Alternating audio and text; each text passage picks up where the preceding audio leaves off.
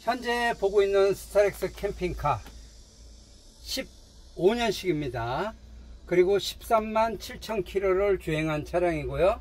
그 다음에 지금 어 요게 2인승이니까 총 4인승 총 4인승이라서 daily car로 사용하다가 저 주말에 되면 어 세미 캠핑카로 사용하시면 좋을 것 같습니다. 요거는 이제 어 이렇게 넓게 사용할 수도 있고 또 침상으로도 이게 변환이 되니까 앞으로 가서 어, 눕히면 되고요.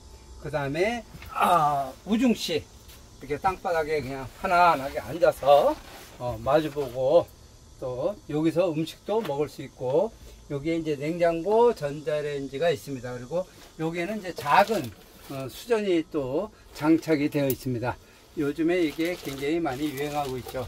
그리고 지금 현장에 보시면 어, 앞에도 그렇고 뒤에도 그렇고 썰루프가 아, 장착이 되어 있는 차량입니다. 그리고 전기는 300이 들어가 있고 인버터는 3kg 그리고 무시동 히터가 장착이 되어 있습니다. 이 차의 가격은 지금 차량 포함해서 2,500만 원에 판매를 한다고 하니까 관심 있는 분들은 연락 주시면 감사하겠습니다.